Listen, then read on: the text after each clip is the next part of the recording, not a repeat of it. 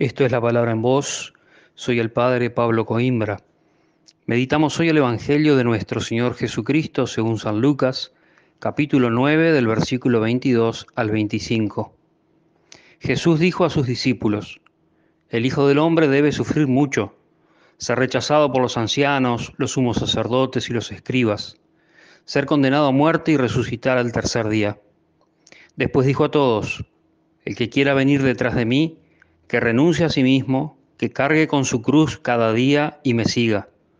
Porque el que quiera salvar su vida la perderá, y el que pierda su vida por mí la salvará. ¿De qué le servirá al hombre ganar el mundo entero si se pierde y se arruina a sí mismo? Palabra del Señor, gloria a ti, Señor Jesús.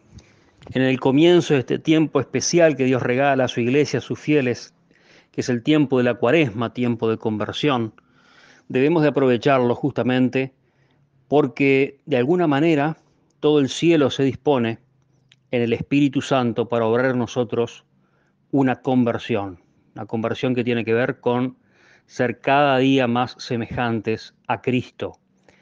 Una conversión que me implica toda la vida, no es un cambio circunstancial, pasajero, no es un cambio de algún aspecto de mi vida, sino que es un cambio radical de todo mi ser que debe tener por propósito pensar, sentir y hacer como piensa, como siente y como hace el mismísimo Cristo, para llegar a ser hijos en el Hijo.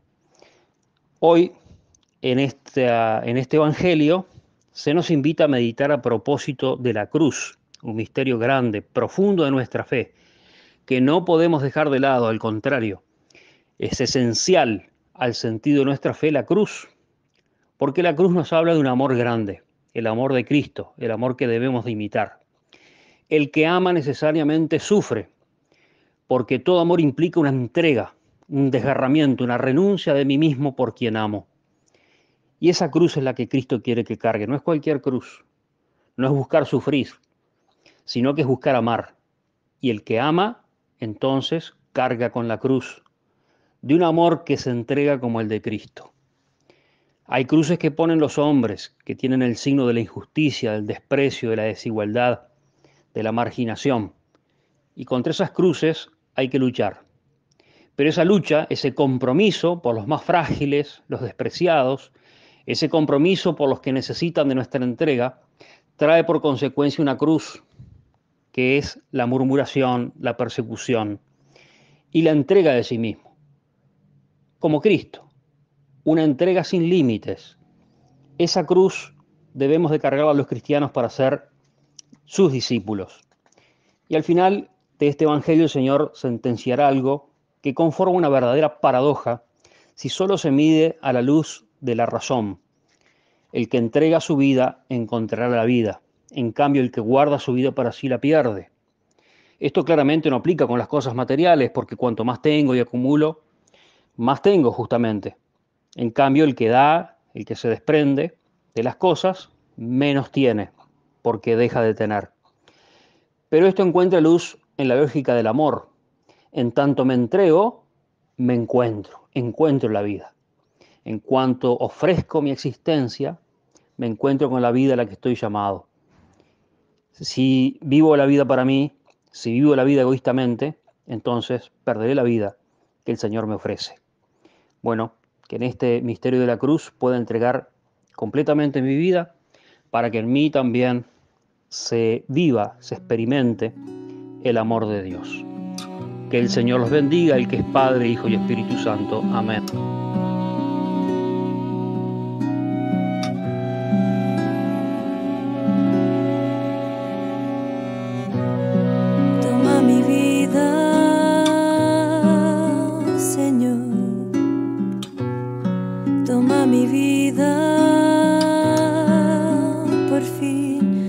Para ti, Señor, para ti mi gran amor, para ti mi alegría.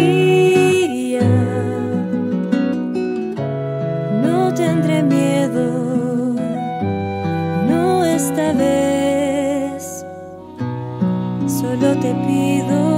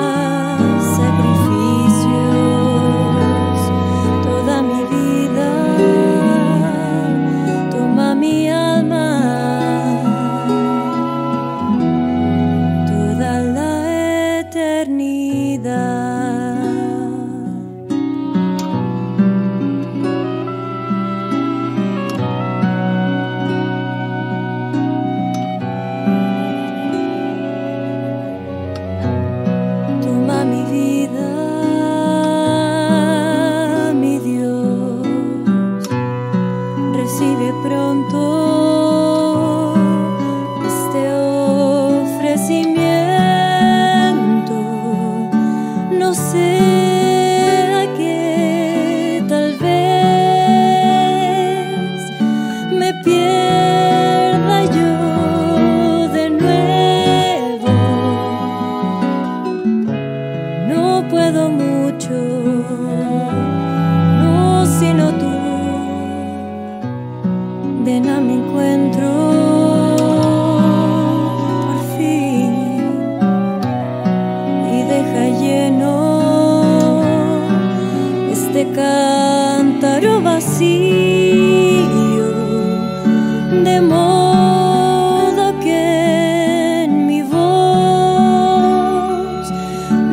no